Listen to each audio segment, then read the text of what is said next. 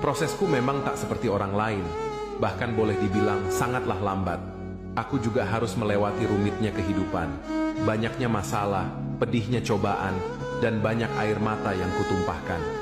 Tapi aku percaya, suatu hari nanti tangisku ini menjadi senyum keberhasilan di kemudian hari.